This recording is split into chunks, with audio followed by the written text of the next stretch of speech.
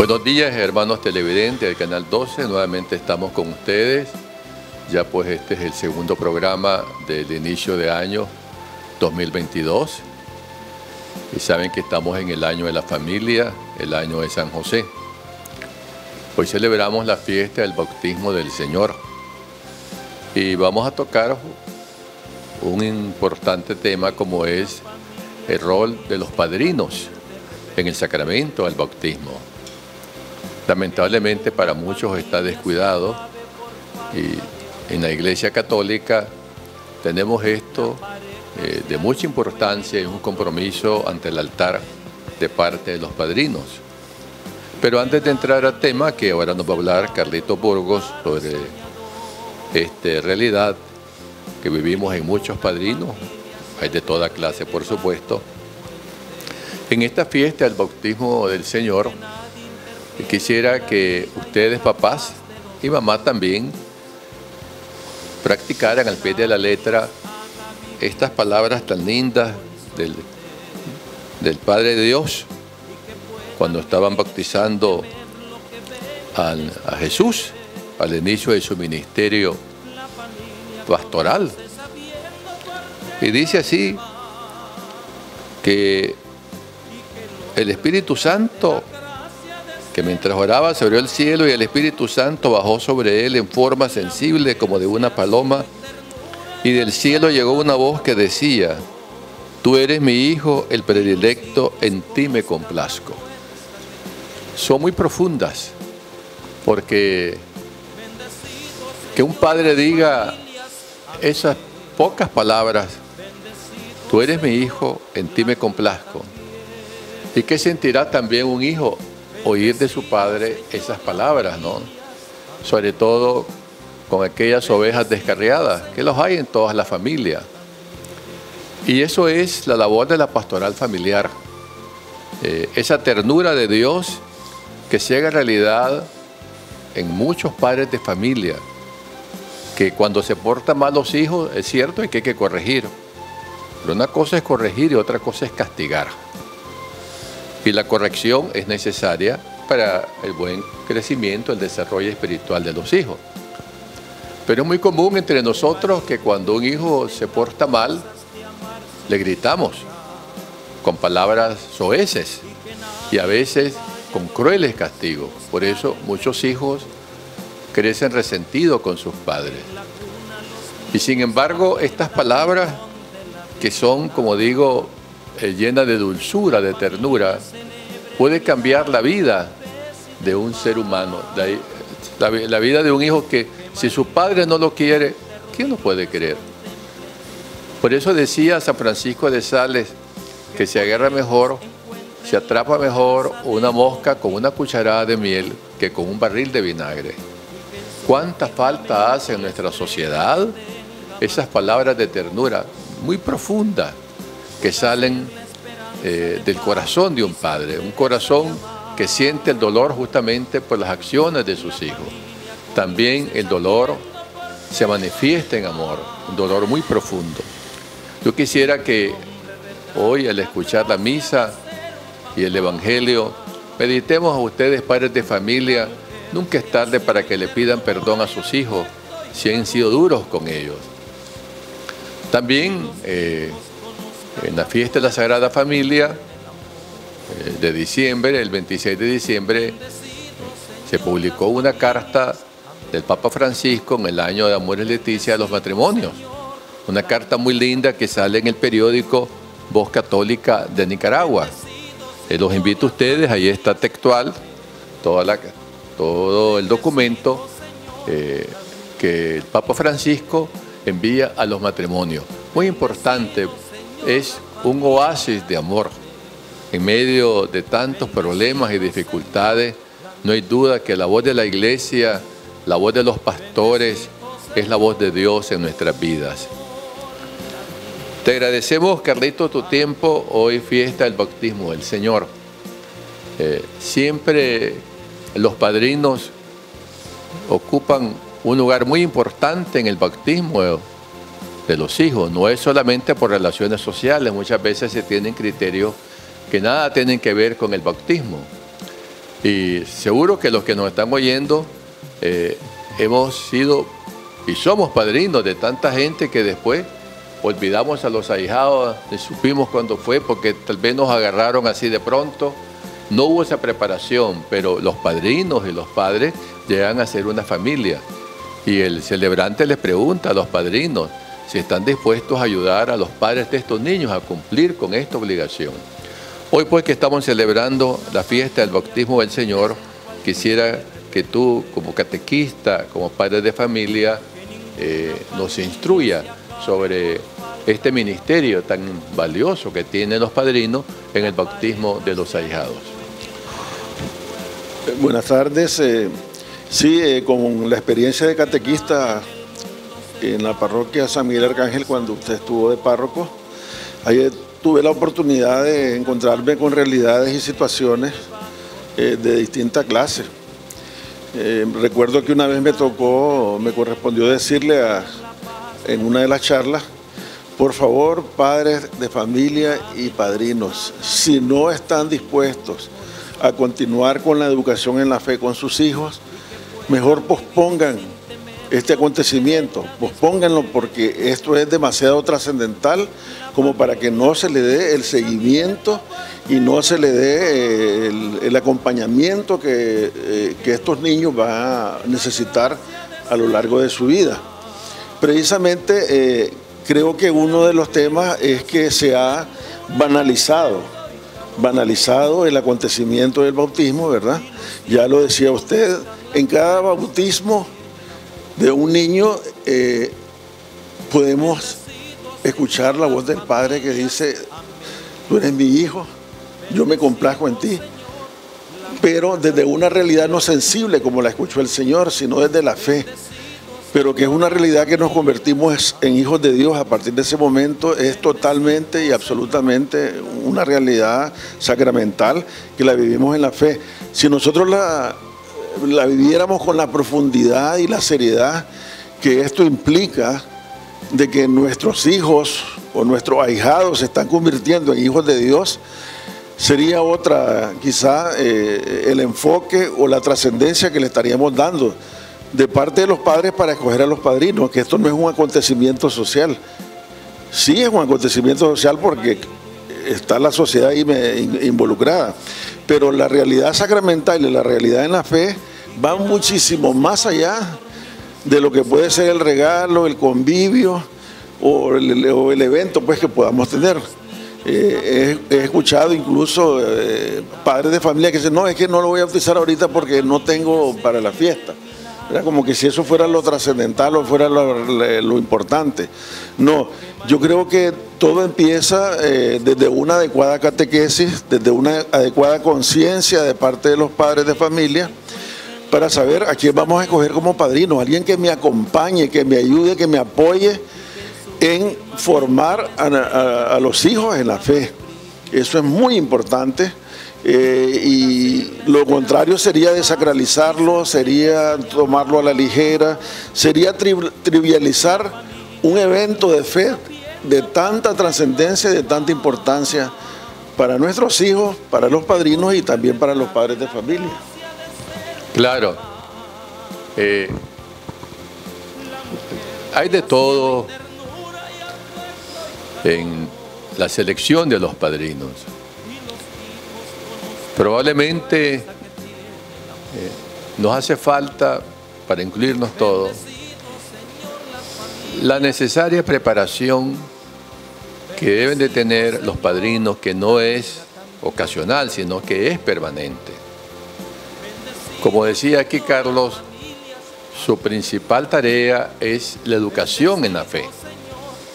Es decir, y alguna vez se oía que cuando faltaban los padres, los padrinos suplían a los papás en caso de muerte, desaparición, lo que pueda suceder. Muchos tienen criterios económicos, porque aquel es de apellido, porque tiene dinero. Y entonces, eh, ciertamente los intereses son distintos. Es aprovecharse a la gente para ver qué regalo les dan el día del cumpleaños, el día de Navidad, lo que sea. Y muchas veces estos padrinos hasta desaparecen también.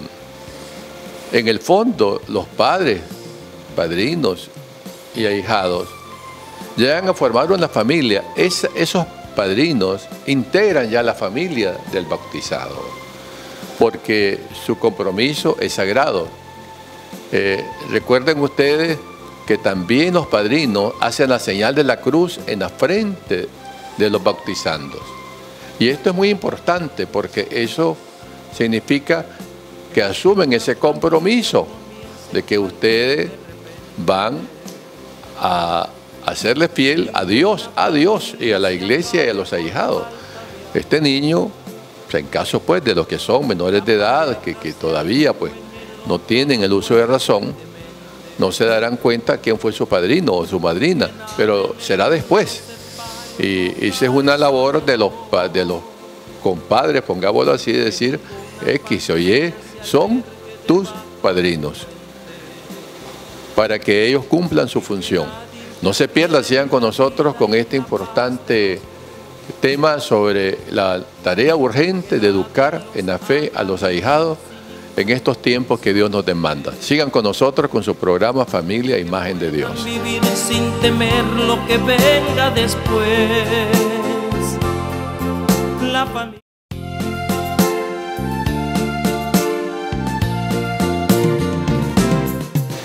Regresamos con ustedes con su programa Familia Imagen de Dios que se transmite todos los domingos a las 9 de la mañana por Canal 12. Y antes de darle la palabra a Carlos que nos está hablando sobre el rol de los padrinos en el bautismo de los ahijados, quiero primero agradecer a, a los doctores que me han atendido en estos días, que he estado bastante enfermo, pues lamentablemente no, no, porque no me dejaron salir, no se pudo hacer ese examen, pero aquí pues han estado prestos en estos días de vacaciones, en los días pasados, para estarme atendiendo. Eh, gracias pues a ustedes, queridos médicos y enfermeras que han estado pendientes de mi salud y de muchos que han orado también por mí. Quiera Dios pues que este asunto se resuelva, de que un día eh, mi documento se regrese a mis manos. También el Instituto Técnico Especializado Juan Pablo II eh, está ofreciendo su oferta académica en el año que estamos viviendo, el año 2022. Hay un error involuntario en el periódico Voz Católica que dice 2021, pero corresponde a este año 2022. Y quiero recordar que tenemos bachillerato técnico, donde en cada año se aprende una carrera técnica y también tenemos cursos sabatinos para bachilleres que no pueden ir a la universidad u otros que quieran tener eh, una fuente de trabajo eh, de inmediato plazo. Eh, tenemos en modalidad sabatina refrigeración, aire acondicionado, redes y telecomunicaciones, electricidad industrial, soldaduría, metalurgia. tenemos también eh, costura, belleza, panadería. Unos son con primaria eh, aprobada y otros son con eh, secundaria aprobada porque son cursos de altos niveles. Y en el bachillerato técnico, pues el primer año ellos ven costura, en segundo año ven carpintería, tercer año ven repostería, cuarto y quinto año ven contabilidad comercial eh, nosotros formamos en los principios de religión y fe la persona humana, nuestros valores, la familia, la calidad académica, que ofertamos una educación integral según los principios cristianos. Eso es importante, aceptamos de cualquier religión, siempre que respeten el ideario del Instituto Técnico Especializado Juan Pablo II, donde todos nos vemos como hijos de Dios. Eh, ya estamos abiertas las matrículas. Eh, Queda el Hospital en Fonseca, 200 varas al sur, edificio de dos pisos. Y el número telefónico es 2268-4724 o el 7800-2098. Aprovechen esta oportunidad porque el Instituto Técnico forma calidad humana, calidad cristiana, calidad moral, calidad académica, calidad técnica. Ese es nuestro compromiso y nuestras clases son presenciales, con toda la bioseguridad que nos demanda la pandemia. Bienvenido a nuestro Instituto Técnico Especializado Juan Pablo II. Eh, Carlito, estábamos hablando ahora, eh, el sacramento del bautismo, junto con la primera comunión y la confirmación, se llaman los sacramentos de iniciación cristiana. Eh, en muchos padres el apuro está, permítame esta expresión, de simplemente de bautizarlo, de confirmarlo, primera comunión, pero luego desaparecen de la iglesia y ya no hay más formación y entonces los resultados son catastróficos para la moral y para la persona humana. ¿Qué nos puedes tú comentar sobre esto? Bueno, eso es una realidad la que usted está tocando.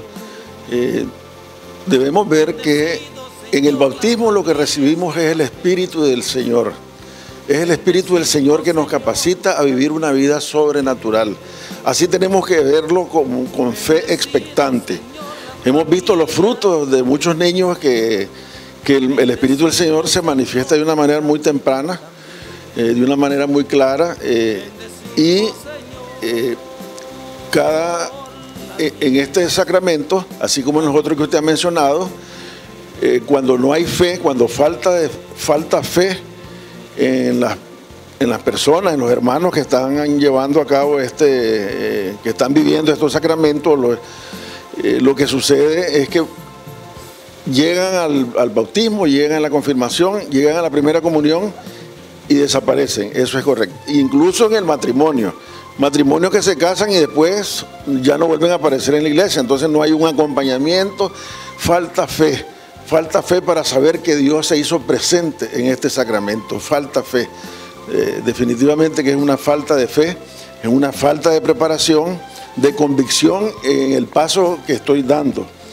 Eh, nosotros tenemos que eh, verlo desde una realidad espiritual profunda que va a cambiar mi vida para siempre.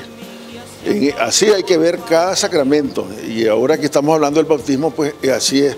Es una realidad que va a cambiar la vida del niño para siempre. Y esa, ese cambio necesita el acompañamiento de los padres y de los padrinos. Pues ese sería pues una, un pensamiento pues alrededor de este tema. Eh, que creo que eh, profundizar en la catequesis y en el paso que se va a dar, creo que va a dar eh, unos tremendos resultados pues, desde el punto de vista del convencimiento y de la conciencia que estamos tomando sobre, esto, sobre estos temas sacramentales. Y, y ahí el error de muchos padres de familia, yo sé que lo dicen sin mala voluntad, por supuesto, menos con mala intención Anda donde catequista, que es el que te enseña el catecismo. Pero ciertamente recordemos lo que ya sabemos, que el primer catequista son los padres de familia, donde hemos aprendido las primeras oraciones. De nuestros abuelos recordamos que nos enseñaron el Padre Nuestro a persinar, el Ave María, eh, la salve, invocar al ángel de la guarda. Esos han sido nuestras primeras catequesis, pero la desgracia para la humanidad es haber abandonado esos deberes y entonces creer de que esto compete a otras personas y no a mí. Y un segundo aspecto que yo quisiera eh, seguirlo tratando es la urgencia de, de retomar, voy a usar esta expresión, este verbo, de retomar la tarea de la educación en la fe porque una persona sin Dios es desgraciada. Perdóneme que use este término bastante duro, pero sin Dios ni somos nada, y somos una desgracia y somos lo peor. Y eso es lo que le está pasando al mundo de ahora. Nosotros necesitamos que nuestra pastoral familiar, que comienza por casa, por supuesto, comencemos nuevamente a enseñar la fe a los hijos, eh, de manera que cuando estén en su adolescencia, en su juventud, ellos van a recordar con tanto cariño la herencia que sus padres le dejaron, como es el temor a Dios, el amor al prójimo. Urge decirlo diario, porque el mundo nos ha arrastrado lamentablemente, nos hemos dedicado a los éxitos, a que tengan buenas carreras. Todo eso es incluyente en una, en una, eh, en una responsabilidad de los padres. Eh, que tengan eh, dinero, que tengan posesiones, que tengan carreras. Todo eso parte de la responsabilidad, pero nada de eso va a sustituir a lo más importante que es formar a las personas y formar a los cristianos. De manera que lo que más grande le vamos a dejar a los hijos es el amor a Dios y el amor al prójimo. A ver si tú concluyes con un mensaje en ese sentido a los padres de familia, ¿verdad? Eh, sí, eh, lo que usted ha mencionado es profundamente real. El, hombre sin Dios está incompleto. El hombre sin, Dios está incompleto, y ya lo decía San Agustín, ¿verdad? Este, en nuestra vida está incompleta mientras nosotros no descansemos en Dios, ¿verdad? Eso eh, él lo ha dicho de esa manera. Y eh, y lo vemos en lo que está sucediendo pues en este momento en la sociedad, pues ¿verdad? Eh, normalmente creciendo los hijos sin valores, en trivialidades y banalidades, eh, dándole importancia a lo superfluo y no a lo trascendente. Creo que eso, como ha dicho Monseñor Silvio, pues comienza desde casa, es fundamental. Como decía San Agustín, nos ha hecho para ti y nuestro corazón no descansa hasta que descanse en ti. Y esa es la realidad, esa es la realidad, lo, trascendente, lo más importante, lo fundamental y lo esencial es la formación en el amor a Dios y al prójimo.